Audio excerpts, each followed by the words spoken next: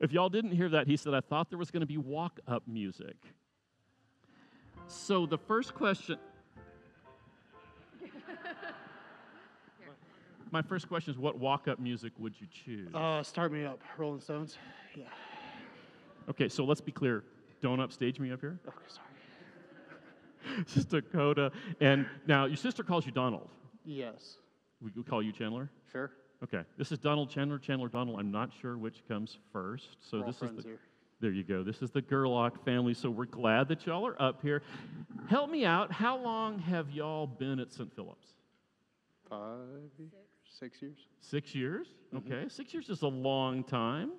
And from where y'all live, I looked it up on the map, there are about 7,000 churches between there and here. Hey, we chose the best. Amen. So tell us why y'all stayed. Hmm. I really, we did talk Good try, about this.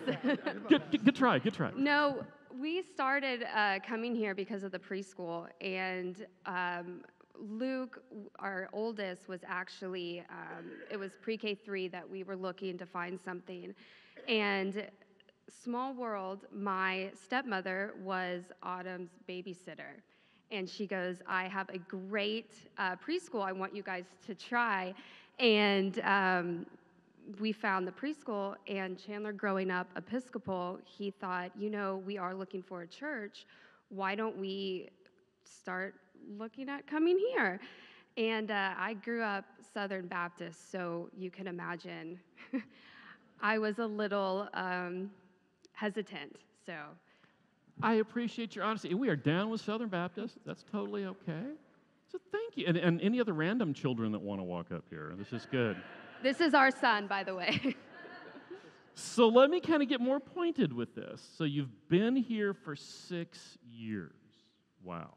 How has life here, worship here, being in this parish here, you know, made y'all more and more like Jesus? How has this been uh, a discipling uh, activity in your life and in your family? Yeah, so if you don't mind, I'll. Okay. um, we, it started off really slow. Um, it was just our boys going to preschool, and eventually we started um, getting more involved. I do a lot of work with the children's ministry, and I work with Jill. And it slowly just became um, my heart. Just, I love working with children and I love sharing the Word of God. And through that, it, I mean, for both of us, just continue, continuously to grow and serve, whether it was um, through different ministries, through the preschool. Um, we just wanted to continue to do that and help other families. Thank you. So let's put uh, let's put Chandler on the spot. So why then is it that y'all as a family have made a decision to make a financial gift to St. Philip's? Why are you going to make an estimate of giving this year? Well, so the truth is, um, We like the tr- we're pretty down with the truth here as well. uh, I, I think it, for me anyway, and we've talked about this a lot, it's an important decision that we've made to be stewards with the gifts from God. And to us, that means a lot of different things, but tithing in particular is our trust in, in you and this church and doing the right thing for our community and for um, the parish. So it's frankly it comes down to a, a trust factor. Excellent. We appreciate that. Yeah. Did you have anything you wanted to add to that one, or are you going to say ditto? Are you going to sing us another Rolling Stone song? Oh, no, no, you guys don't want to hear me sing.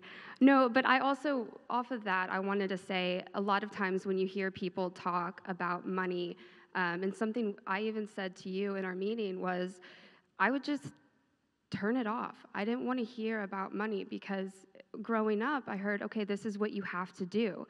And it was not something I wanted to hear. And that was very selfish of me, and that was very um, my perception of what it really meant to be a servant of God. Um, after we decided to give, it was like, I, don't know, not to sound cliche, but it, the light just came on and my heart just opened up and the way that i saw giving and the way that i truly wanted to give and Chandler truly wanted to give, it was about giving with our entire heart and mm-hmm. what it meant to serve. And if you don't mind, I, I looked up a verse and I wanted just to share. She's asking if I mind if she's going to read a Bible verse. Rhetorical question. Okay, but in 2 Corinthians 9 7, it says, Each of you should give what you have decided in your heart to give, not reluctantly or under compulsion, for God loves a cheerful giver. And I just love that verse. It's something that stays with us when we give. And I just wanted to share with you. Thank you. So it's al- always good to be upstaged by a comedian and a preacher. So let's give him a hand, y'all.